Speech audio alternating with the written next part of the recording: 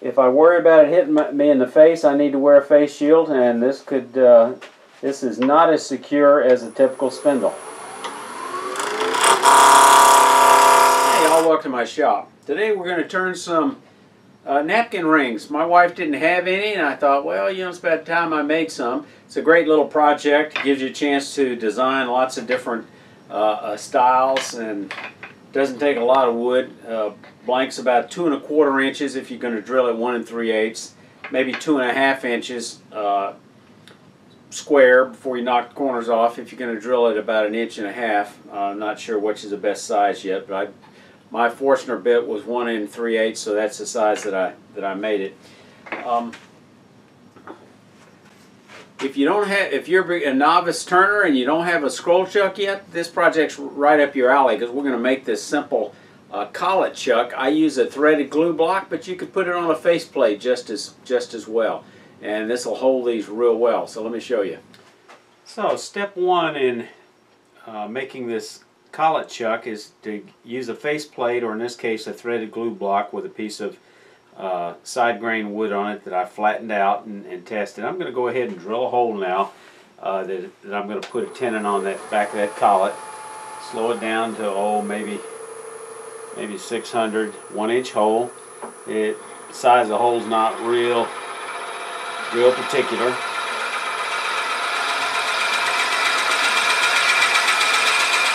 Now for the collet chuck portion, I've got a blank about two inches uh, square, could be as small as one and three quarters. Uh, I'm going to rough it round and then put a one inch tenon on it to fit in that glue block that I just showed you. So let's get that out of the way. I just marked it between centers. Get the speed up a little bit. It's, safely between, between centers. It's not going anywhere.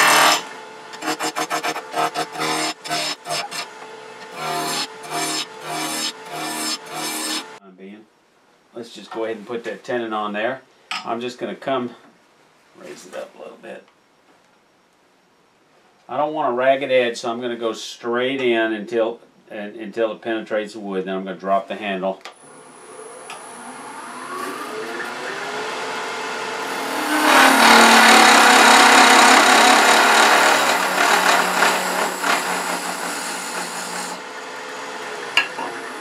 Now to size that, I'm just using a little little template.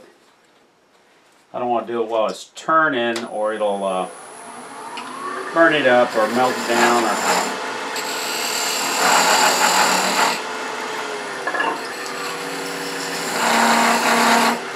Okay. Now let's test that. So we're going to take the blank that we, we drilled with a one inch hole and just make sure we got a, a pretty snug fit. That looks pretty good. Maybe it's just a little bit tight in the back. So let's just refine that just a bit and we'll be ready. So I can I can see it. It's just tapered down just a little bit too much. So I'm going to come in from the beginning, take light cuts and just cut it toward the back. Okay. Yep, that'll work. Nice snug, snug fit. Uh, so let's go ahead and put a little glue on that and glue that up. I think similar to last time, I will use the tailstock. Keep it, uh, keep it in place while it's drying. Okay, putting that up. All right, I'm just gonna put a little bit of glue around the edge and pop it in in place. All right, rush back here. Put this in place. Get it on there before it dries.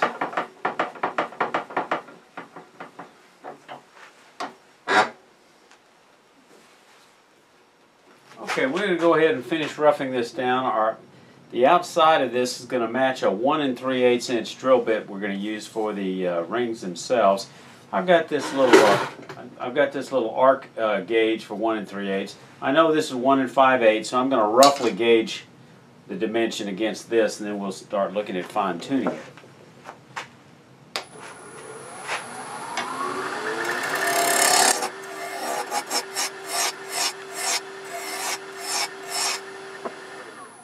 Almost obvious. Uh, so we're going to quarter take down, so I think what I'm going to do is before you do it, size that roughly. Start. Close. Almost. Close enough. Against. Bring it down a little further. Down to right here. One of those two surfaces.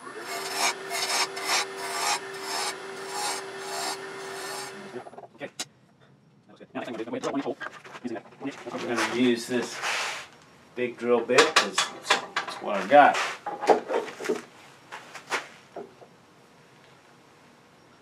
And that'll leave the walls uh, fairly thin and give it a little bit of flex.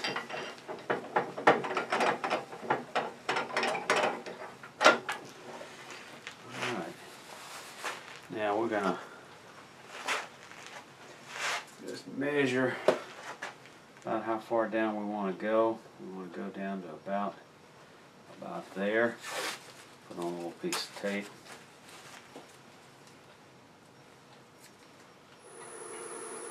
Slow it down to about 500. Ease in.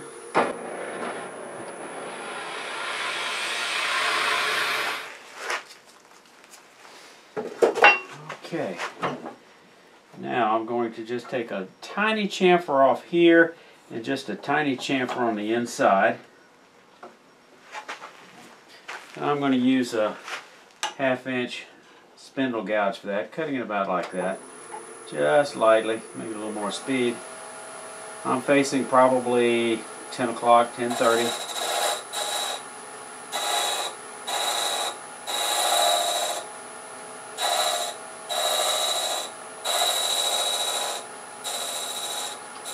want a rounded surface where the cone that puts tension on it is going to be. And now we're just going to chamfer the end of this. Just going to do that with this parting tool. Just make it a little easier to slide the ring on it. That's all that's doing. Okay, now we're ready to take this over to the bandsaw and uh, we're going to saw four slots in it. About that far down which is I'm not really measuring I'm just kind of sort of guesstimating but it's looks like it's two and a half inches. So we're going to cut it down to two and a half okay inches. I'm going to cut a couple of slots here on the bandsaw. Uh, I don't want to lift it up like this because I'm afraid it'll get jerked down and I'll lose control of it. So I'm going to uh, keep this up against the fence and I've got it where it's just about centered and I've got it marked on the top make a minor adjustment. And then I'll leave it slanted.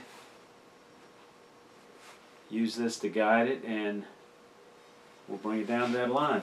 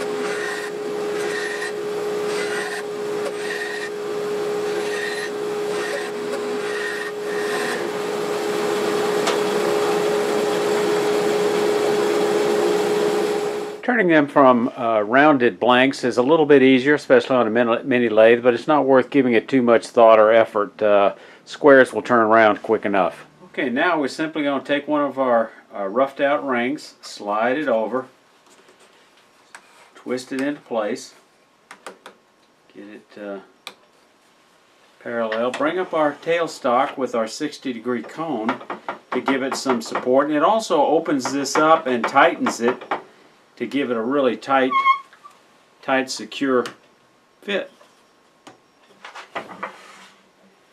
Bring up our tool rest. All right, I'm going to use a small, because this is a, a parallel grain similar to a bowl, we're not going to use a spindle roughing gouge. I'm going to use a small bowl gouge and first get it round. We can get the speed up a little bit. It's not going to go anywhere, don't think.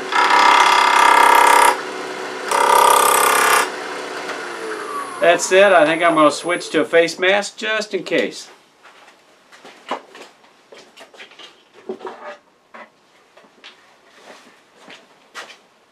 My rule of thumb is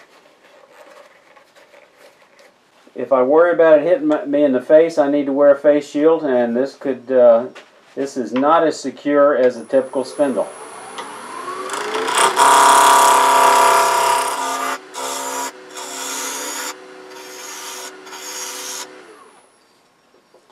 Okay, I've, I've got it round. Now it's time to think about design considerations. What do I want this thing to look like? And I think what I'm going to do is make several of them, although I can see from the side this is over a half inch thick on each side. So it's pretty thick no matter what kind of design. So I'm going to take it down, oh, at least another, probably close to a, a quarter of an inch. And then uh, I think what I'm going to do is make different kinds of uh, rings to show you some of the different kind of styles.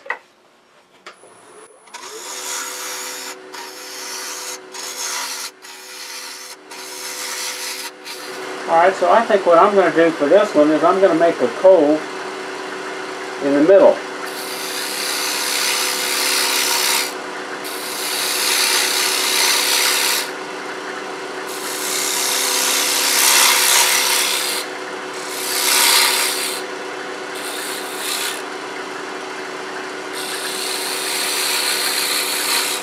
Now, unlike a uh, cove with the parallel grain going the direction of the lathe where you go from small to large, the way I was cutting. It's time for me to switch now to get the best cut, which is going to be going from small to large because the grain is running this way. And changing with every, every revolution.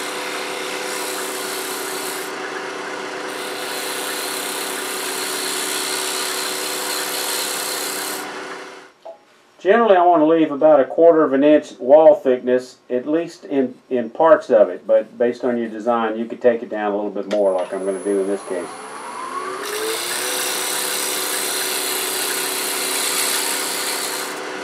And I think, uh, I think I like the looks of it. Now, the beauty of this type of project is you can make lots of different designs and you can play with them and come up with all types of things. And at this point in time, I'm going to go ahead and sand this a little bit. Um, and then we'll do the next one. Now for a spindle sander, I simply uh, did one of my Morse, wooden Morse tapers, cut a slot down the middle, rolled a piece of paper around it, tucked it in on both sides, and that seems to work just fine. Just slide this on, do it at slow speed, and you can clean up the inside real easy using this.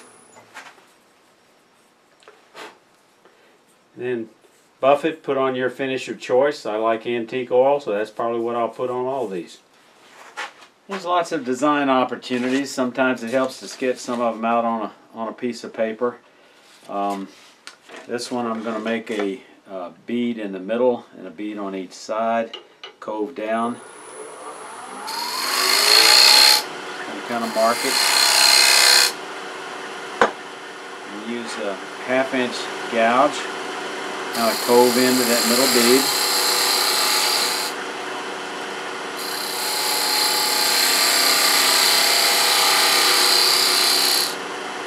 Now I'm just going to clip these corners. And then from the other side.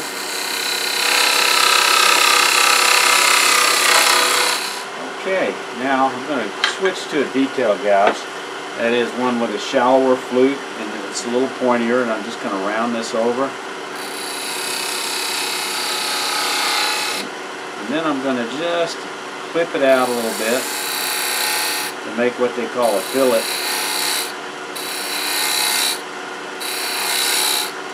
Actually, I think it might be easier for me to make a fillet with a tenon uh, tool or a small parting tool. I'm going to take this small parting tool and just come in and put a flat on each side of the feed.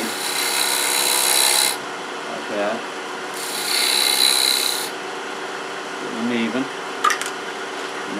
come in and finish rounding it off.